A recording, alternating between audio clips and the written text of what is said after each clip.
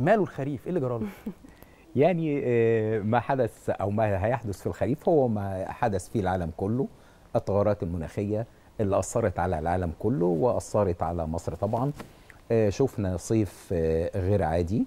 درجات حرارة عالية جدا على مستوى جميع محافظات مصر. خلينا أقول لأ ده على مستوى العالم كله. صحيح.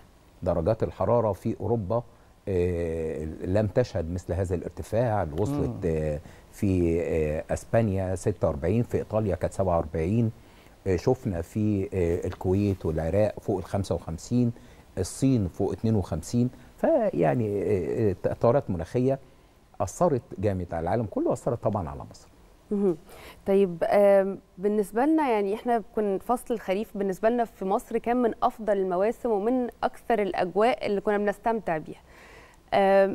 لو هنعرف السادة المشاهدين يا فندم يعني فصل الخريف شكله عامل إزاي؟ بيتسم إيه فصل الخريف؟ ده اللي إحنا حافظينه.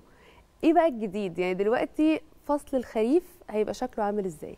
خليني أقول برضو ما زال فصل الخريف أجمل فصول السنة في مصر مش الربيع أنا أتفق مع حضرتك. آه، في ناس ممكن تزعل بس مع هو حضرتك. هو الربيع عشان بيغنوا له والورد بيطلع والشجر بيخضر ومش عارف إيه لكن في الحقيقة فصل الخريف ما زال رغم التغيرات المناخية ما زال من أجمل أجواء السنة في مصر آه. إلا إنه طبعا هو سماته إن ال- النص الجزء أو النص الأولاني منه في أو بدايته يعني بيشابه إلى حد ما الصيف في درجات حرارته آه، يعني يبدأ درجات حرارة عالية آه، إلى حد ما يعني مش يعني القاهرة ممكن توصل 35 مهم. آه، ثم يبدأ يعتدل درجات الحرارة. سماته إن بيبقى في حالات عدم استقرار آه، آه، في الأحوال الجوية بتتمثل في أمطار غزيرة بتصل إلى حد السيول على آه، المناطق الجبلية يعني سلاسل البحر الأحمر آه، جنوب البلاد آه، حتى وسط الصعيد.